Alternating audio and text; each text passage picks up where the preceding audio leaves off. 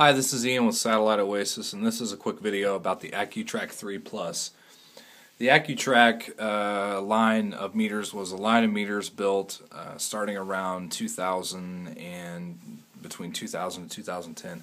This specific meter was designed to work with the DirecTV AU9 style uh, satellite dish, which, is, which was the precursor to the DirecTV Slimline. So it is compatible with the uh, DirecTV 99101 type uh, KAKU satellite dishes. It's also compatible with many KU brand uh, satellite dishes as well. So we'll go ahead and power this up.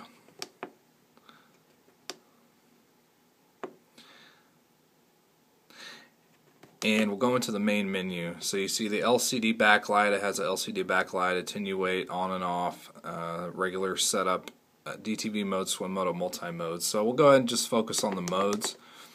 Under DTV mode, you can see it's got the K high, KU, and K low signals at the 99 and 101.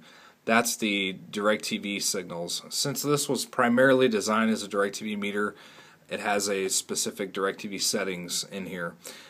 Uh, as I said, it also work as a generic KU band satellite meter but it'll give you a little bit more detail. It basically frequency isolates these uh, specific satellites. So it gives you a signal bar if you were to connect a satellite dish up to it. So we'll go ahead and see. It's also compatible to a certain extent with SWIM. It's compatible with the SL5 SLMB and the SL3 SLMB. So we'll go ahead and set it to the SL3 SLMB. And it gives you the option to what's called dither. And dither is basically when you you get your satellite dish peaked out, and if it's at a peak, uh, the point that it starts to drop off, you mark that, and then you turn it the opposite direction a little bit, and the point that it starts to drop off, you mark that.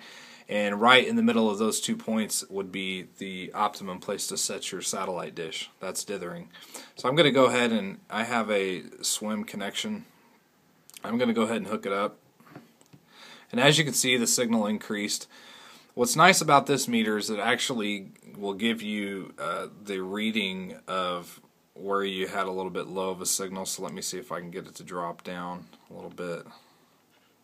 And the bar will empty out, but you see it, it gave you the reading where it was where it was high. So that's the swim functionality when it comes to this piece. Also, you have the multi-mode, which basically it'll give you because it's it's has a DiSEqC switching built into it. Let me see if I can get that to zoom in there. There you go. It'll give you an ability to look at multiple satellites at the same time, which is kind of neat. Uh, it doesn't positively identify satellites, but the idea behind using a meter in, in a lot of circumstances, before you actually had a, a meter that did DDSI type uh, satellite identification, like you would pretty much set your elevation and tilt, and if you got a signal on your meter, you knew it was right as long as your your uh, mount was plumb. So the same principle with this. As long as you have a plumb mast, you've set your elevation and tilt settings correctly, and a signal comes in, it's probably going to be the right one. Uh, that's the way it was done until basically the bird dog became popular and the Super Buddy.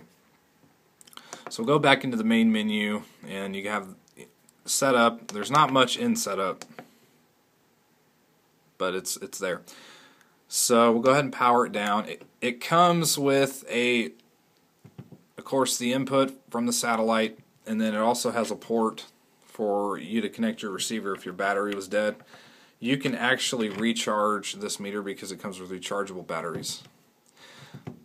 And it comes, it's a, it's a plastic piece with a rubber protective housing and it comes with a lanyard. It was designed for DirecTV. It was a quality meter. DirecTV installers carry them. So it is still a good quality meter. I would I would say you an RVer would be the perfect customer for this. A do-it-yourselfer, even a satellite installer on a budget, I think you could still use it.